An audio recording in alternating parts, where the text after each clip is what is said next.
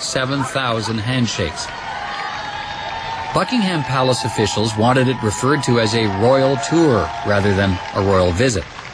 They wanted Canadians to know the Queen was not merely a visitor, she was the Queen of Canada, and she was at home here. It was a very successful tour and had many interesting features because, of course, uh, uh, uh, the Queen arrived, and uh, just after she arrived, she uh, it was confirmed that she was pregnant, that she was expecting a child, who, of course, became Prince Andrew, the present Duke of York. But she, and she told the Canadian Prime Minister John Diefenbaker first. He was the first of her ministers anywhere to to know this. Well, the Queen put in, despite of the fact that she was expecting a child, she put in this very heavy uh, uh, schedule uh, with, without fail. And and uh, but but towards the end, she had to take a rest for a day. She got a sort of sickness, and of course, people thought, well, this was because of the the strenuous nature of the tour, and they actually criticized um, government officials, the organizers of the tour, for this. But of course, they didn't realize until afterwards that she was, it was because she was pregnant. But it was really one day only out of the entire tour. Others criticized the government for the cost of the tour. In 1939, when the Queen's father, King George VI, visited, there was little criticism, hardly any negative publicity. Twenty years later, though, times were changing. The Calgary Albertan called the tour hopelessly outdated and said it ceased to have any meaning to the Canadian people. But opinions were divided.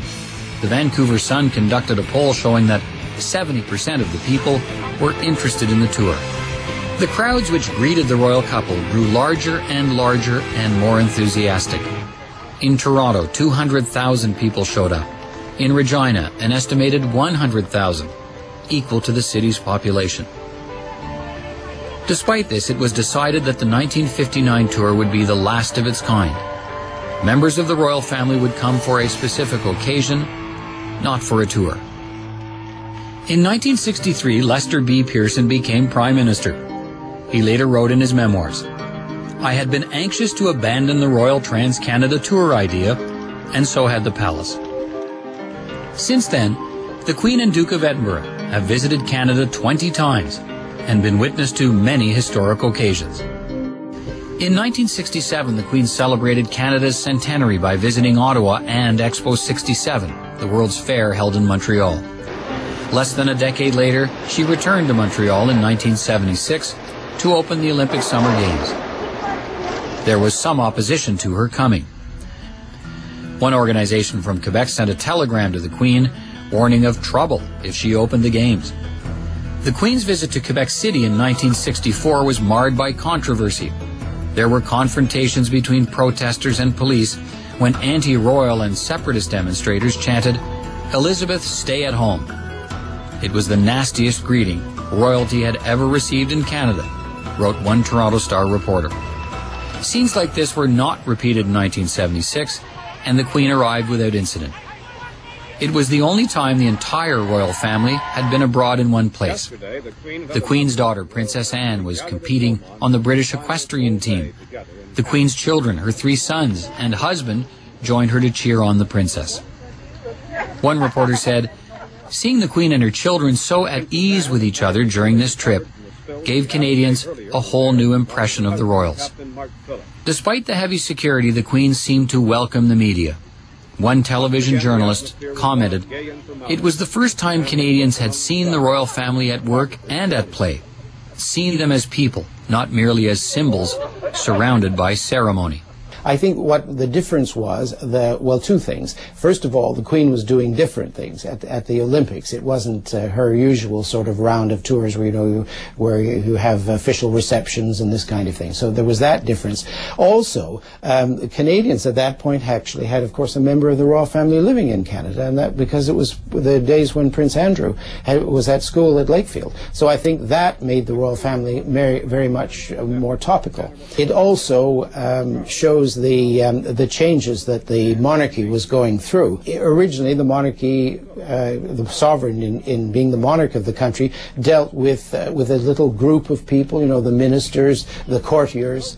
Now, with with the, of course, the uh, inclusion of the of everybody in in the in the political structure of the country, then of course that changed, and the and and uh, since that happened over um, a fairly long period, it took a while for the for the, uh, the royal family to adjust to that, and uh, and I think uh, it, it goes ahead in stages, and I think in 1976 was probably one stage, at least with regard to Canada, where that uh, where that happened, um, because uh, things were not done for just a little group of people anymore; they were done for the general public, so the public expected to see these things, and and the royal family responded in kind the Queen really cuts across demographics in terms of her appeal, old and young, rich and poor. Like, uh, it doesn't matter what your background, whether you're from a British background, whether you're uh, a recent uh, arrival, uh, all seem ha- to have this this passion for for the Queen and this this connection, this sense that she's really like all of our grandmothers. And uh, so I think that's that's part of the appeal and why she was so well received is because she's been there from the beginning. She's been there for all the milestones. One of those milestones was the patriation of the Constitution and the creation of the Charter of Rights and Freedoms on April 17, 1982, in a ceremony attended by over 30,000 and watched by millions of Canadians across the country. Canada's new Constitution was proclaimed by the Queen.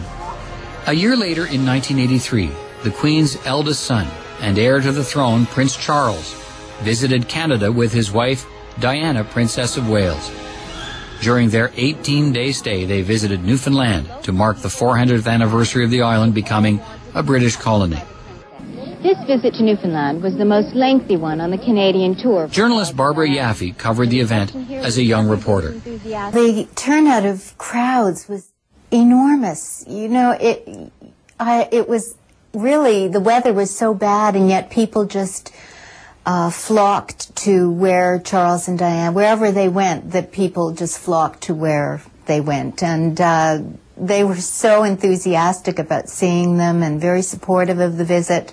I didn't hear one negative word back then, and I think uh, people may have been enthusiastic about some of their politicians. I remember covering Brian Peckford, who was the premier then, and he knew how to rouse a, a, an audience. But um, I think this was a different, a different type of um, support for Charles and Diana. It was, in some measure, celebrity watching, um, and this was a new married couple who seemed to be in love, and there was a lot of goodwill for them.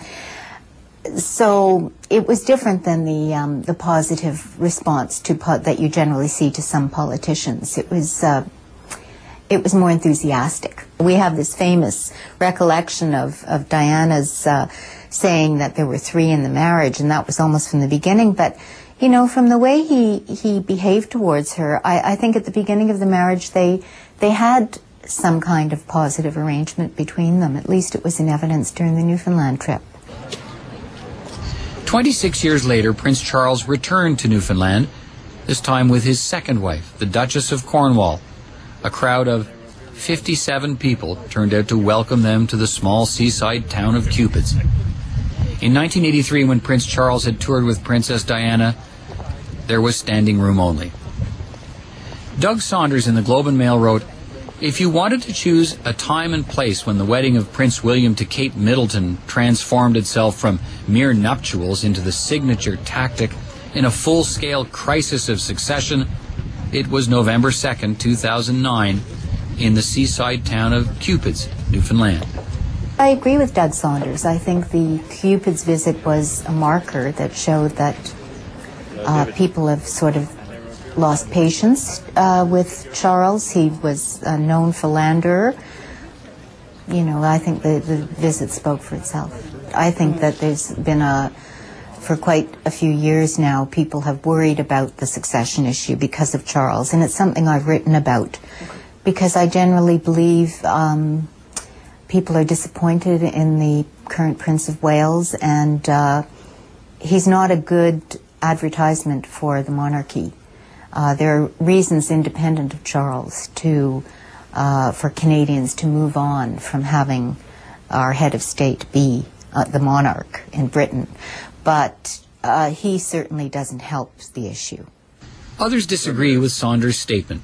Well, I think it's a bit unfair because when the Prince and Princess of Wales came in in 1983, yes, they um, they were a young couple who'd just been married and and had their first child uh, in, a, in, and married in a ceremony which the whole world uh, saw in effect.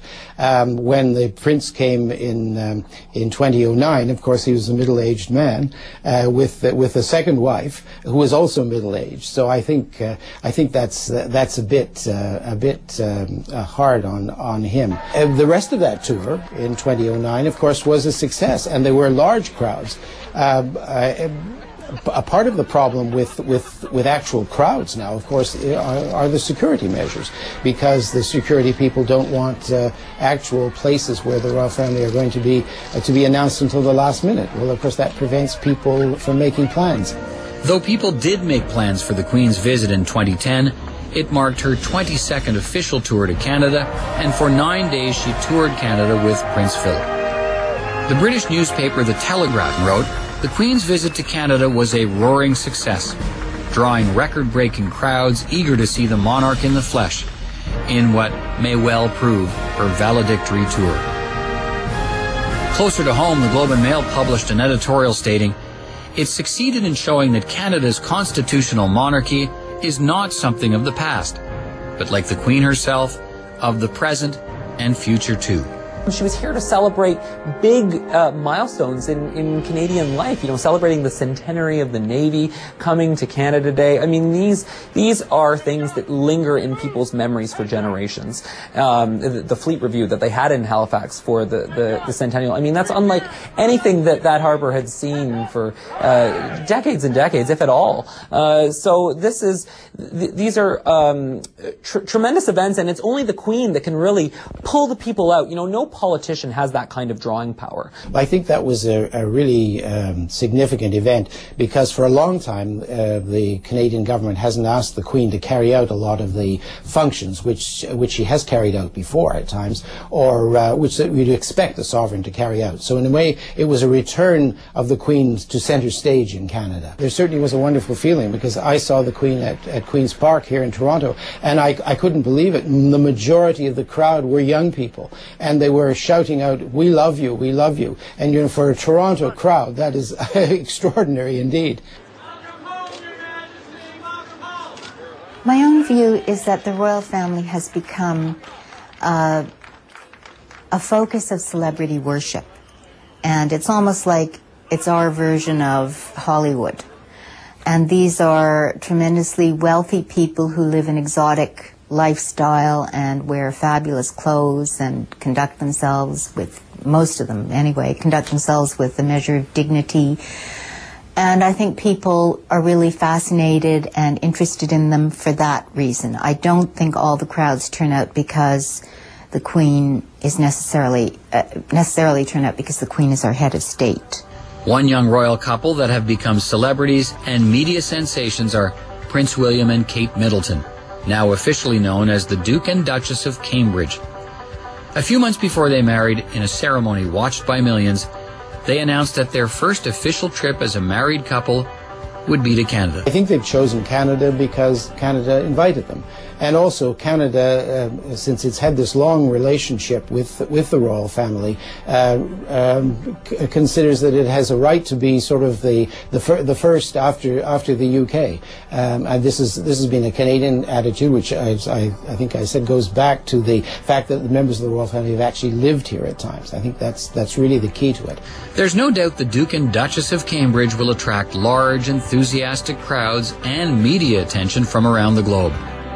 Officials are stating this royal visit will be on a size and scale like nothing Canada has seen before. This is the recreative nature of the monarchy. that each generation of society can identify with it. Young people identify and get very excited about uh, about uh, a young couple, young heirs to the throne, like the uh, the Duke and Duchess. I've been describing this effect lately as uh, monarchy 2.0. This is the institution reinventing itself for a new generation, and that's the strength of monarchy is that it it does change with the times. With each new generation, it adapts to the new circumstances and reshapes itself to make it relevant because that's the only way that constitutional monarchy really can survive. I have no doubt that the monarchy of 50 years from now will be different in some significant ways from the monarchy of today, just as the monarchy of today is different from what it was in 1919. Uh, and uh, but it will adapt and uh, will change. That's been the story of Canada and the Canadian Crown: its adaptability and its progressiveness.